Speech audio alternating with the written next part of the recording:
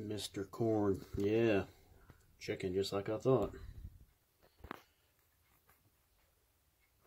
And some homemade blueberry cobbler, baby.